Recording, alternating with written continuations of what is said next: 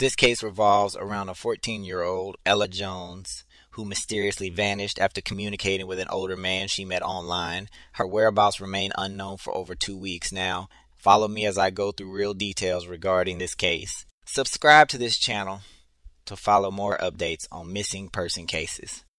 Ella Jones is a 14 year old teenager who lived with her family in Mount Vernon before her disappearance. Ella was last seen by her mother on the night of January 5th, 2024. Her mother, Sarah Merrill, reported that Ella was in the house and they had a normal evening before sleeping. Waking up on January 6th, Sarah discovered that her daughter was not in her room and some of her belongings were taken. The 14 year old is believed to be wearing a black hoodie, multicolored pajamas, and black Nike Air Force shoes. Sarah asked her daughter's friends if they had seen her and visited to look for her in her friends' houses without success. Ella's friends told her mother that she had been talking to a man named Keith, who was in his late 20s or early 30s through platforms like Discord. Those who know Ella Jones best say it's unlike her not to call or text anyone or not to post to social media. Family and friends of the 14 year old haven't seen her since January 6th. The family says her friends claim she had been communicating with an older man through online chat platforms like Discord. Discord is an app created in 2015 that became popular as an online chat room for gamers. Since then, it has become a messaging tool for a variety of communities to virtually connect, now with nearly 200 million users worldwide. It's kind of like a, a non-corporate Slack or Microsoft Teams. So there's a it, it's just group chat. Lurking in those chats are predators who prey on children, using the app to trade child sexual exploitation material, extort minors, tricking them to send nude images, and grooming children before abducting them.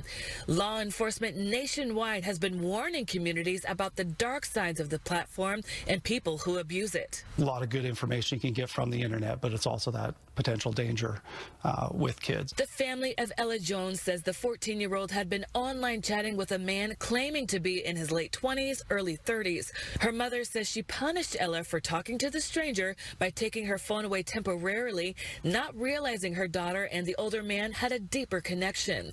Mount Vernon police say the teen voluntarily left her home with a backpack full of clothes on January 6th. Her mother reported her missing that same day we're following up on leads as they come in. Of course, we're getting a lot of them. Uh, we're evaluating each one on its own merits, and those that have substantive information that we're able to follow up on, we are. Cybersecurity experts say it's not just Discord that's abused by predators. There are dark sides to many online platforms, and those dangers need to come to light. Whether it's getting someone involved in trafficking or finding ways to extract money from somebody, it, there are li limitless amounts of tools now at people's disposal to use for good or for bad. And we're going to see more of this before it gets better, unfortunately.